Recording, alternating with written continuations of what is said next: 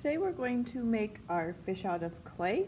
So I've gathered some materials. I have my plastic bag with tape on it. I still need to write my name on it. I have my fish template that's cut out and ready to use.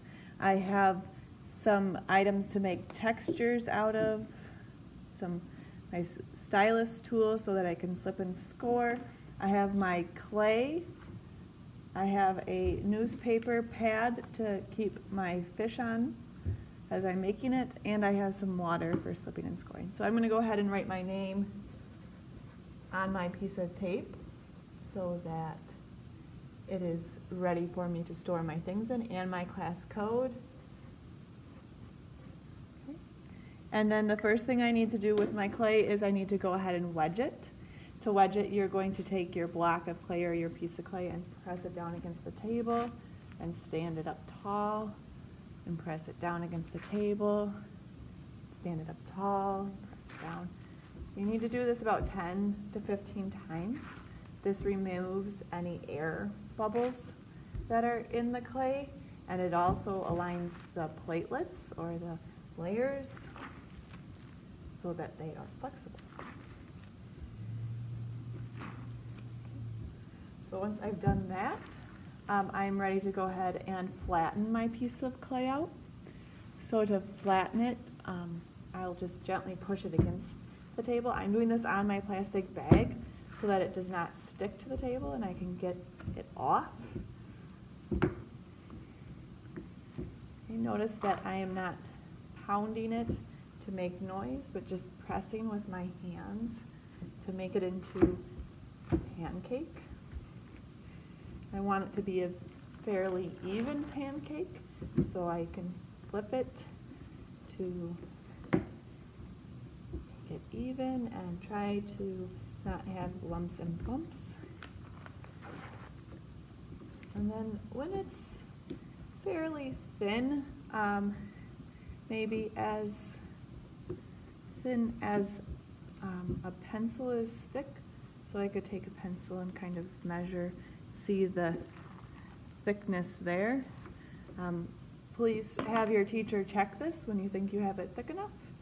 And then once you have the go-ahead from your teacher, you are ready to trace your fish. So you'll put your fish onto the piece of clay and then carefully with your wooden stylus tool, or if you have a pointed plastic tool, you can just trace gently around the fish. I'm just tracing, I'm not cutting it completely out yet.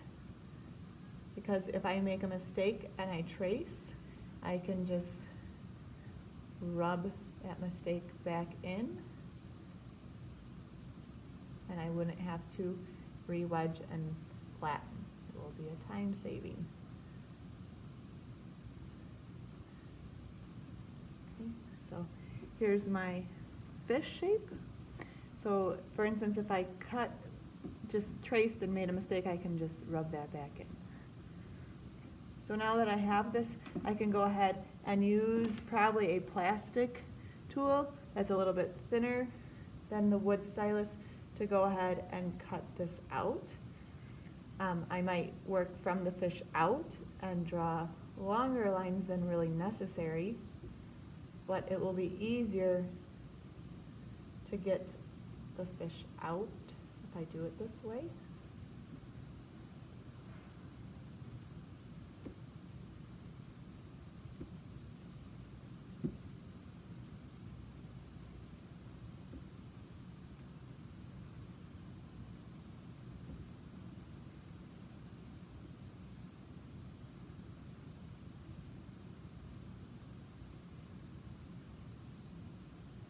So trying to be careful to stay in those lines that I drew, but if I go slightly off, it's okay. I can fix that later. Oops, that one went slightly off. Okay, and now I will try to peel off the outside parts gently. And that can just become a pile of clay that we will collect and recycle. So now I have my fish shape. I might want to go around and kind of smooth out any rough areas right now so that I don't have a lot of smoothing to do at the end. Okay, so I'll smooth just a little bit. You might want to do a better job than I'm doing right now. So now that I have my fish shape, I can refer back to my patterns and see what I need to do. It looks like in some areas I was going to use this roller to make the squiggly line. So I'm gonna go ahead and roll where I want that. I just want it on the upper and lower fin. I might get it in other places that I don't want it. And if that happens, I can easily fix it. And it looks like I have to roll a few times to get it. But it showed up here where I don't want it, so I can just take my finger and get rid of that, okay? And then I need to make an eye. So an eye I'm going to make three-dimensional and add, so I can just take a piece of clay and roll it into a ball. And then I would be attaching this to there, and anytime I attach two pieces of clay, I have to slip and score. So I'm going to make little scratch marks where I want the eye to go and on the back of the eye. And then take a little water, dab it, and dab it. And then when I push it down, I need to make sure that I push it down firmly so that I can see some of that water ooze out. That means that it's attached firmly. Okay, so there I have that eye attached. And then I wanted to add a dot in the middle, so I can just do that with my stylus here. And then it looks like I have some lines going through my fish. And I could go ahead and draw those on. But maybe I also want to make those with coils or make some more in between with coils. So to do that, to roll a coil, it's just a long piece of clay. I can roll it out using my hand.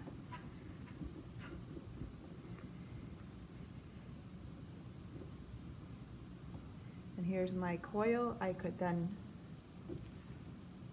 measure it so that I get it the right length. And then again, I would have to slip and score.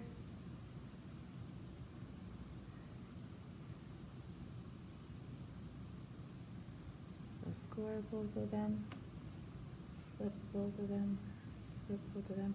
And again, when I push this down, I'm pushing it firmly um, so that I can see the water or the slip ooze out.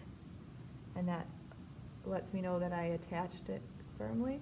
And then I'll want to come back and you can see score marks still there. I'll want to come back and smooth those out too so I can take my finger and just kind of smooth along to smooth those out. So I might want to continue doing this for all of those lines that I drew to add some dimension to this. And then, or I could leave some and drawn, okay?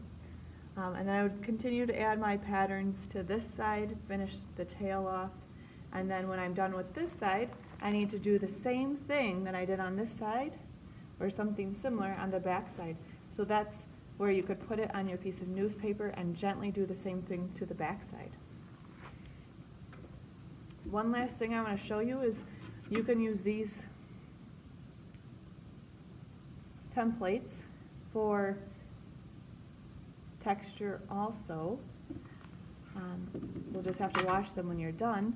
But if you take your fish, so if this was my fish, and I press down into the template with it, and then gently peel it off, it will create some of the texture. That didn't, I didn't press hard enough.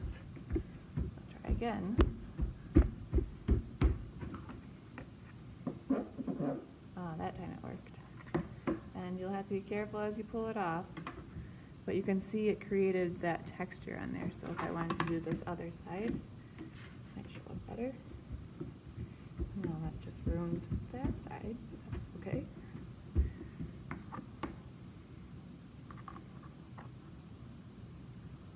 Oops, I pressed way too hard that time. But you can see you can get a texture from the template on there too. You just have to be extra careful when you're doing that. All right, so then once you're done with your fish or it's time to clean up for the day, um, you're going to make sure that your fish is on your newspaper. Okay, it's okay if it hangs off a little bit.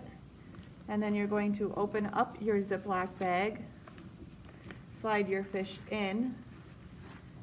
Okay, make sure all the air gets out.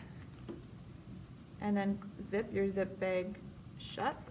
And then you can take your fish and we can store it, carry it with two hands like this, and we'll store it in the kiln room on a shelf.